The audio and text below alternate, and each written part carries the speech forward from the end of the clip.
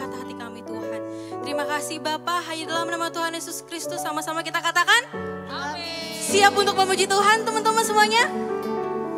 Yuk, kita sama-sama buat tepuk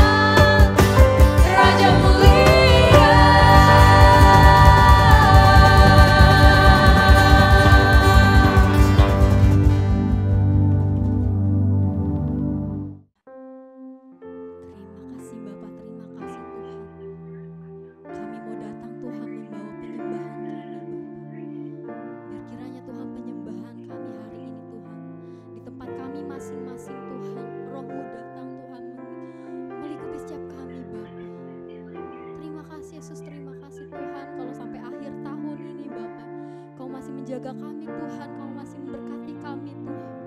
Terima kasih Yesus. Terima kasih Bapak kami mau mengucap syukur Tuhan. Kami menaikkan penyembahan kami hanya untuk Engkau Bapak sama-sama teman-teman kita mau angkat penyembahan kita buat Tuhan teman-teman.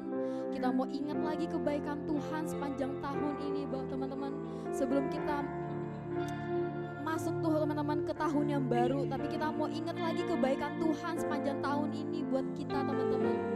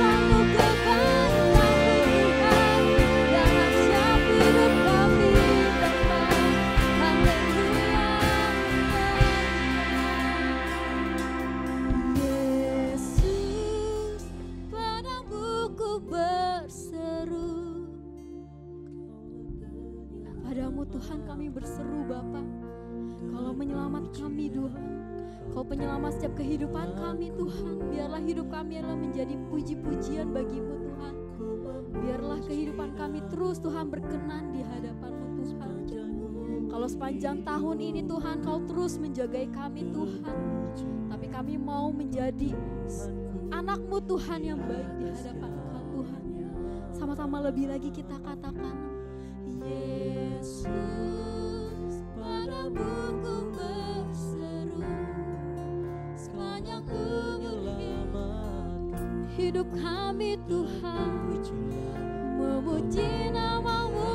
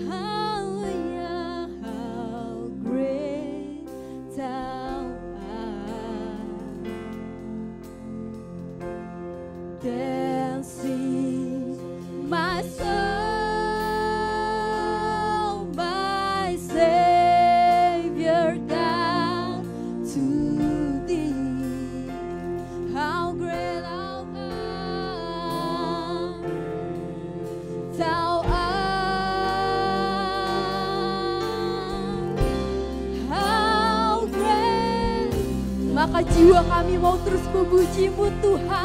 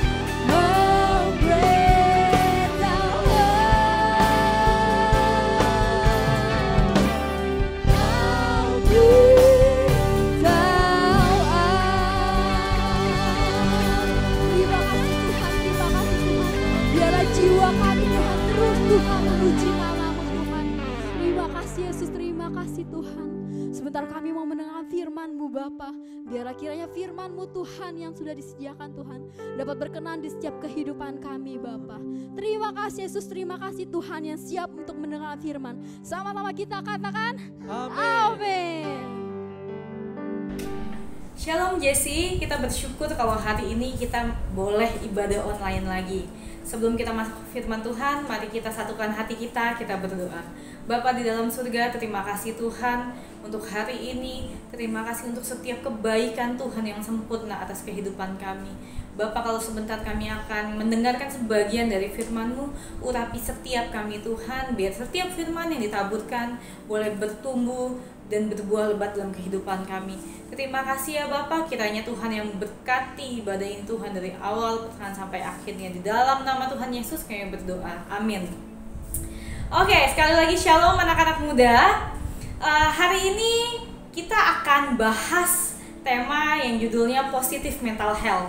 Nah, bicara soal positive mental health, ini topik yang lagi banyak dibicarakan di kalangan anak-anak muda gitu ya. Biasanya kayak di sosial media gitu, banyak anak-anak muda yang lagi ngebahas soal positive mental health. Nah, em, bicara soal mental health gitu ya, sejak pandemi COVID banyak orang-orang yang kesehatan mentalnya mulai terganggu. Eh, Banyak orang-orang yang struggle jalanin kehidupannya. Dan nggak sedikit gitu ya yang mental health-nya itu terganggu. Gangguan mental sendiri itu eh, tidak tidak mengenal usia, tidak mengenal jabatan, tidak mengenal pendidikan. Jadi mulai dari anak kecil sampai orang dewasa, mau yang dari keluarga atau pribadi yang sederhana sampai yang berkecukupan, semuanya bisa berpotensi untuk kena yang namanya gangguan mental. Gangguan mental itu eh, juga nggak dipengaruhin gitu, kamu rajin ke gereja atau enggak, seminggu berapa kali kamu ibadah.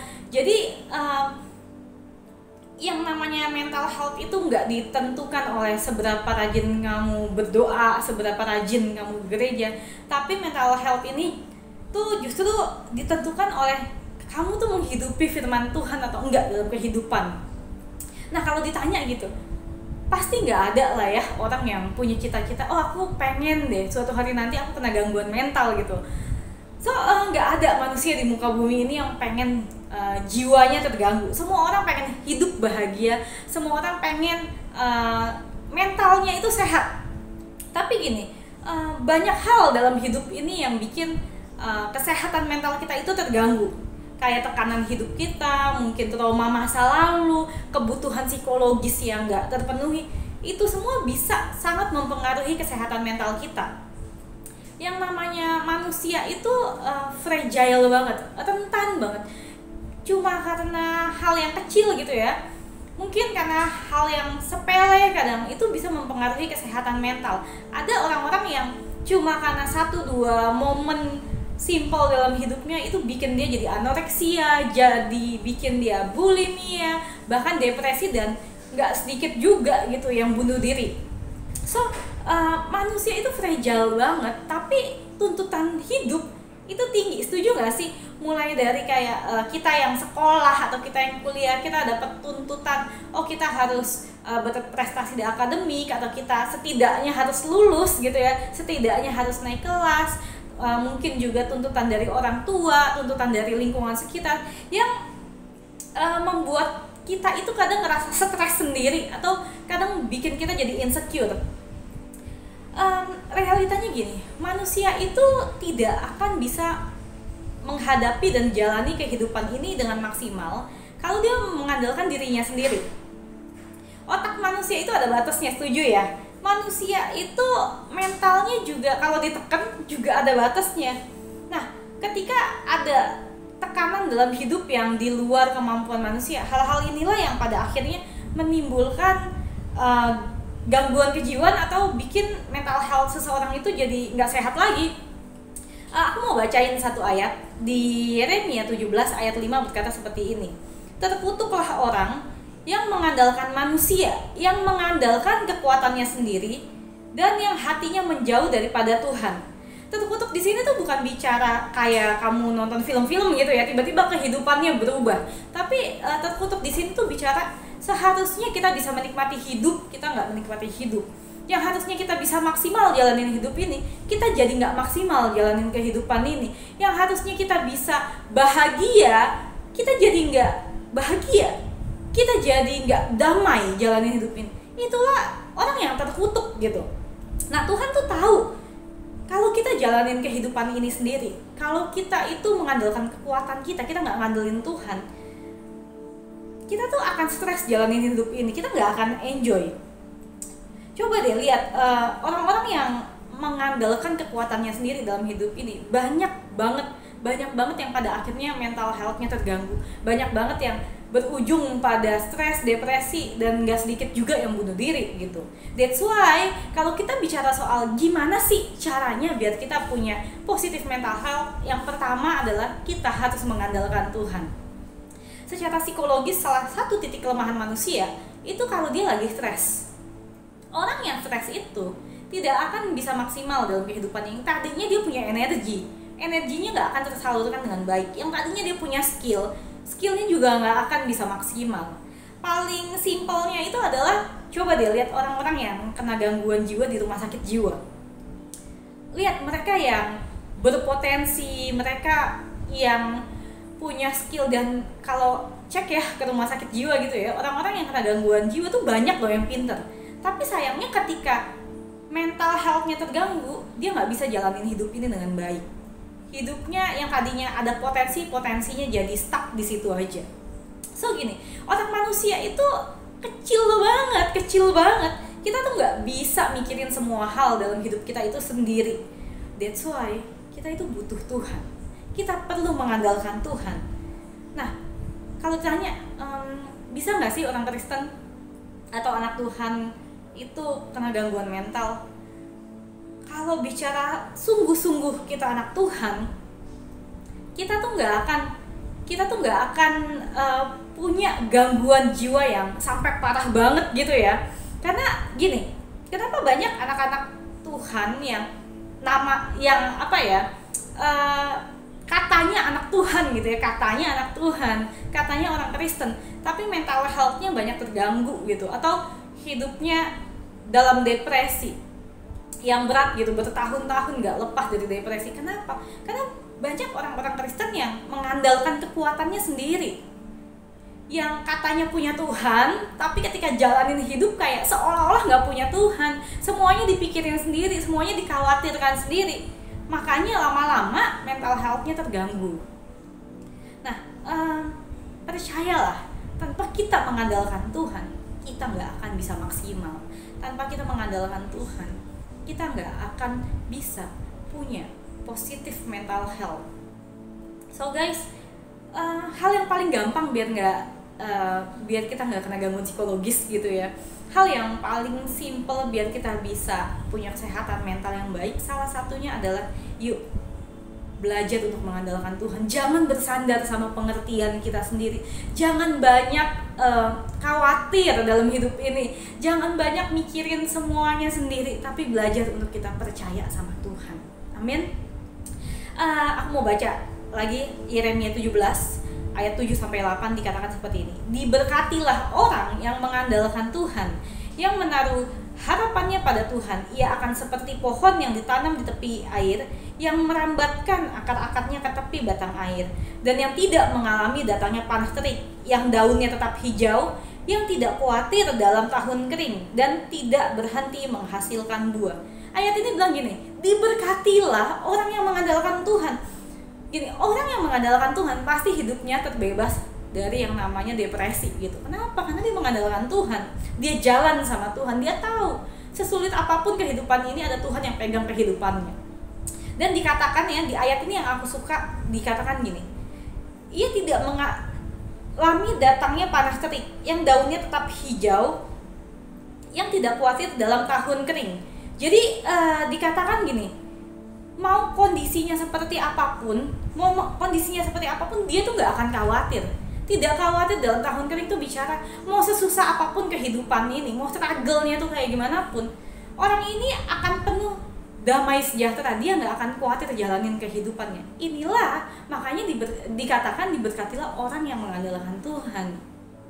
So hal yang pertama yang harus kita mm, miliki atau yang harus kita lakukan kalau kita mau punya positif mental health adalah, adalah hati yang terus mengandalkan Tuhan, hidup yang terus percaya sama Tuhan, jalan sama Tuhan. Amin. Aku percaya banget gini.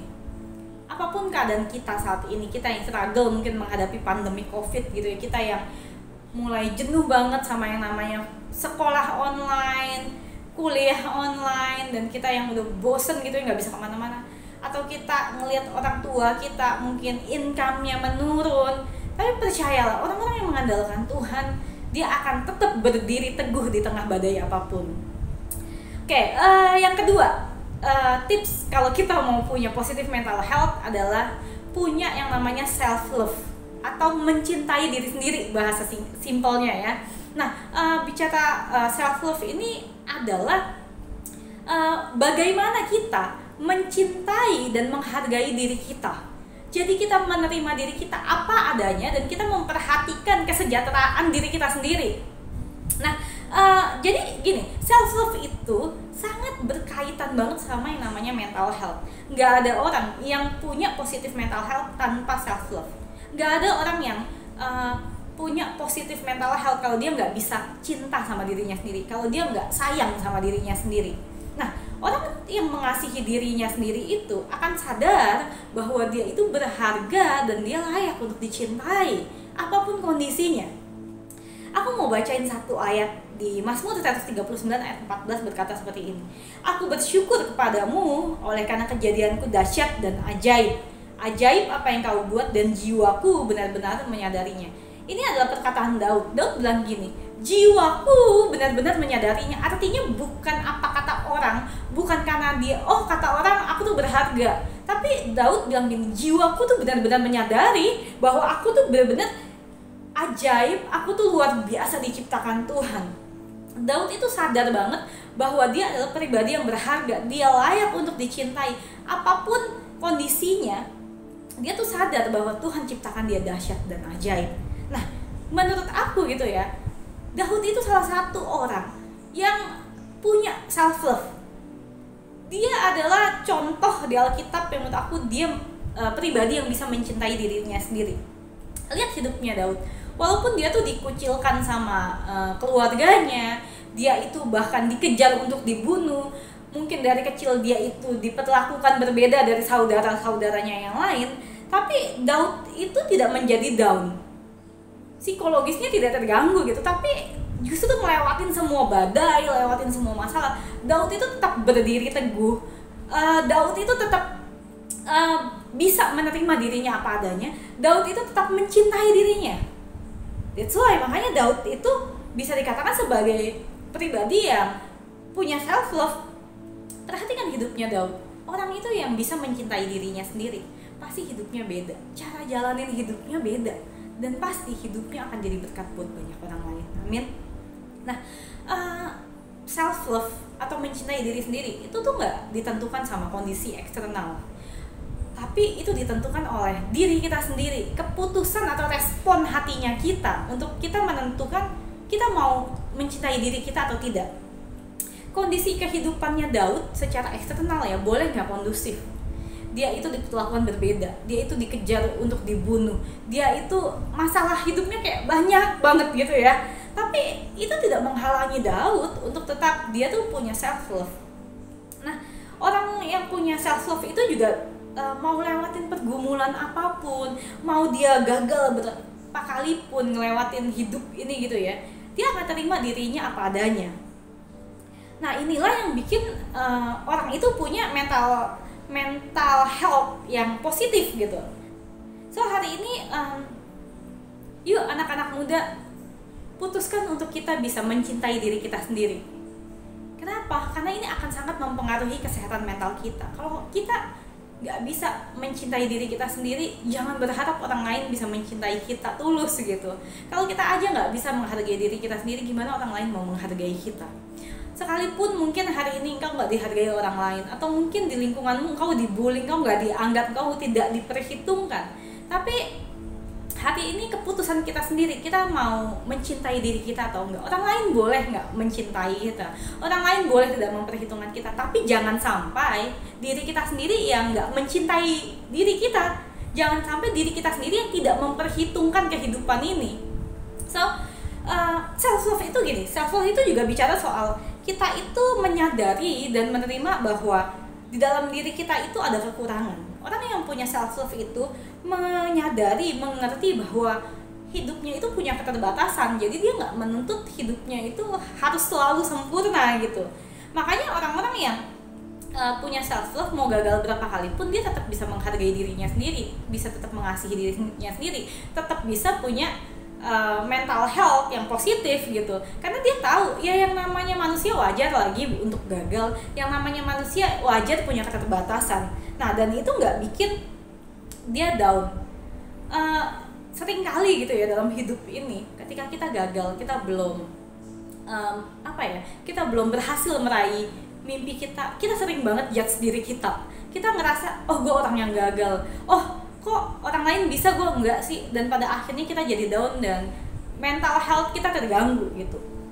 Hari ini aku mau bilang gini ketika kita mungkin belum berhasil hari ini mencapai apa yang kita mimpikan kita belum berhasil mencapai goal kita bukan artinya kita orang yang gagal. Tapi mungkin memang ada proses yang Tuhan izinkan untuk kita lalui lebih lagi sampai pada akhirnya uh, Tuhan izinkan kita mencapai apa yang uh, kita impikan selama ini. So hari ini yuk uh, anak-anak muda Uh, kita tuh gini, kita tuh sering kali nggak bisa maafin diri kita sendiri ketika kita buat kesalahan. Kita mungkin eh, nggak uh, terima masa lalunya kita, tapi hari ini aku mau ajak kita semua, yuk belajar untuk memaafkan diri sendiri, belajar untuk menerima kekurangan diri sendiri, belajar untuk mencintai diri kita sendiri. Amin. Jadi uh, itu tips yang kedua. Kalau kita mau punya uh, mental health yang sehat adalah kita harus belajar mengasihi diri kita sendiri. Amin. Nah, um, yang ketiga yang ketiga adalah ini poin yang terakhir kalau kita mau punya positif mental health adalah bersyukur. Katakan sama-sama bersyukur. Nah ini um, kata yang simple banget ya yang sering banget kita dengar bersyukur gitu. Kelihatannya simple gitu tapi percayalah yang namanya bersyukur itu itu akan sangat mempengaruhi kesehatan mental kita. Guys uh, kebahagiaan dalam hidup ini gitu ya itu nggak ditentukan oleh apa yang kita milikin gitu apa yang kita punya hari ini. Tapi itu ditentukan oleh responnya kita. Apa yang kita putuskan. Orang itu bisa enjoy hidupnya atau enggak orang itu bisa damai atau enggak jalan kehidupannya itu bukan berdasarkan apa yang dia punya. Tapi bergantung sama gimana responnya ketika dia jalanin kehidupan ini orang itu kalau pada dasarnya suka ngeluh mau dikasih apa pun sama Tuhan gak akan pernah happy akan terus ngeluh. Tapi sebaliknya orang yang um, bersyukur gitu ya orang yang selalu bersyukur sama Tuhan mau ngelewatin badai apa pun mau ngelewatin masalah seperti apa pun dia akan terus bersyukur sama Tuhan. Nah makanya yang tadi aku bilang nggak tergantung dari apa yang kita milikin gitu ya tapi tergantung dari gimana responnya kita. So hari ini uh, kita tuh bisa mutusin. Kita mau mengeluh karena kita bosen semuanya serba online kita nggak bisa ke mana-mana. Hidup kayak mungkin berasa agak monoton gitu ya. Atau kita juga bisa bersyukur gitu. Sampai hari ini kita masih diberi kesehatan sama Tuhan. Kita bisa ibadah online. Kita masih bisa ketemu atau kita bisa belajar online. Nah hari ini keputusannya kita. Kita mau mengeluh atau kita mau bersyukur banyak orang-orang di luar sana yang mungkin dia kehilangan orang-orang yang dicintai hidupnya struggle karena mungkin income-nya menurun banget sejak uh, covid atau mungkin dia juga punya fisik yang hari ini dia mengalami pergumulan tapi tetap bisa bersyukur sama Tuhan. So guys hari ini yuk belajar untuk bersyukur dari hal-hal yang simple dalam kehidupan kita. Percayalah setiap hal yang kau syukuri dalam hidupmu itu akan membuat uh, mental kamu semakin hari semakin positif. Uh, 1 Tesalonika 5 ayat 17 sampai 18 berkata seperti ini tetaplah berdoa mengucap syukurlah dalam segala hal sebab itulah yang dikendaki Allah di dalam Kristus Yesus bagi kamu. Nah, Tuhan bilang ini, kehendaknya Tuhan buat hidup kita apa sih? Salah satunya adalah Tuhan tuh mau kita bersyukur dalam segala hal. Jadi bukan dalam hal yang enak aja, tapi dalam segala hal Tuhan mau kita tuh belajar untuk bersyukur. Guys, Tuhan ini kasih kita perintah untuk bersyukur bukan untuk ngatur-ngatur hidupnya kita bukan untuk oh uh, batas-batasin hidupnya kita enggak tapi Tuhan itu nyuruh kita bersyukur karena Tuhan itu justru sayang banget sama kita Tuhan tuh sayang banget sama kita makanya dia dia minta kita untuk kita bersyukur karena Tuhan tahu gini. Dengan kita bersyukur kita akan enjoy jalanin hidup ini. Dengan kita bersyukur kita akan punya uh, mental yang lebih sehat. Dengan bersyukur kita bisa lebih maksimal jalanin kehidupan ini. So yuk belajar bersyukur amin. Apa pun yang kita lewatin hari-hari ini enak atau enggak enak belajar bersyukur sama Tuhan. Percaya lagi nih ketika engkau ngeluh itu nggak akan ada gunanya. Kita itu ngeluh itu nggak akan membuat kehidupan kita yang lebih baik. Tapi justru gini ketika kita ngeluh itu akan jadi penghambat kita untuk kita bisa bahagia jalanin kehidupan ini. So hari ini yuk anak-anak muda kalau kita pengen punya uh, mental yang sehat belajarlah bersyukur. Yang setuju katakan amin. Nah um, pertanyaannya gini kenapa sih kita tuh harus punya uh, positif mental health kenapa penting buat kita untuk kita tuh punya uh, kesehatan mental yang positif nah karena gini kalau jiwa kita terganggu kalau psikologis kita itu nggak sehat itu akan menghambat banyak pencapaian dalam hidupnya kita. Gimana kita mau dipakai sama Tuhan maksimal kalau kita aja jiwanya terganggu? Gimana kita mau berkarya dan kita mau jadi berkat buat orang lain? Kalau kita aja struggle sama psikologis kita sendiri? Lihat dia makin hari ya makin ke sini aku perhatiin gitu ya. Banyak orang-orang yang uh, psikologisnya tuh terganggu. Banyak orang-orang yang struggle sama kesehatan mentalnya. Dan tahu nggak sih engkau sadar atau tidak ini adalah tujuannya iblis ini adalah strateginya iblis. Kenapa? Karena dengan kita itu mentalnya terganggu ini akan bikin banyak anak-anak Tuhan itu yang potensinya jadi terhambat dan hidupnya jadi nggak maksimal. Waktu jiwa kita nggak sehat waktu jiwa kita itu terganggu Tuhan itu nggak akan bisa pakai hidup kita secara maksimal. Dan inilah yang iblis mau. Harusnya kita bisa jangkau jiwa-jiwa. Kita jadi nggak bisa jangkau jiwa. Yang harusnya tadinya kita bisa jadi berkat buat orang lain kita terhambat kita nggak bisa maju untuk kita menjadi berkat buat banyak orang lain. Nah inilah yang iblis mau. So hari ini yuk anak-anak muda kita harus punya mental yang sehat. Amin. Kita harus maksimal dalam Tuhan. Kita harus um, mau dipakai sama Tuhan.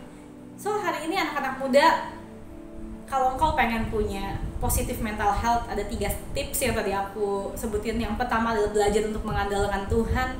Yang kedua adalah punya self love atau belajar untuk mencintai diri kita. Apa adanya. Dan yang ketiga adalah bersyukur.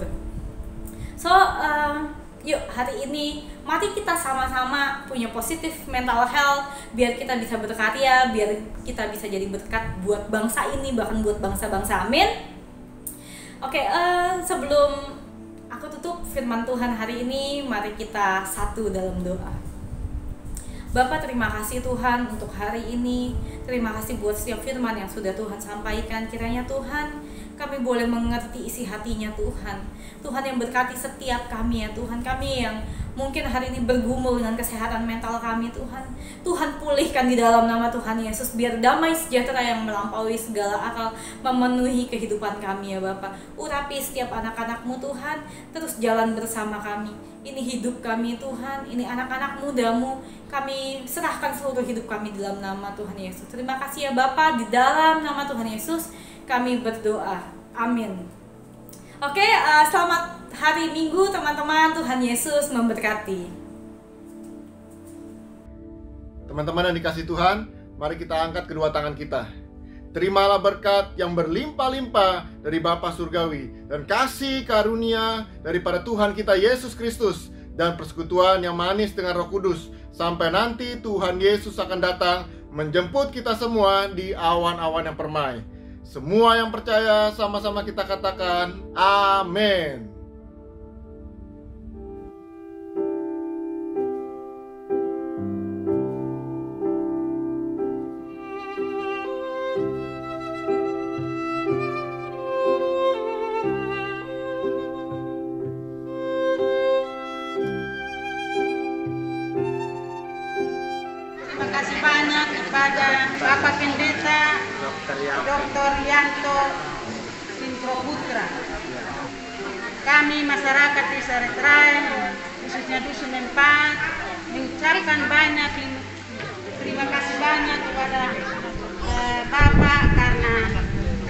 Sudah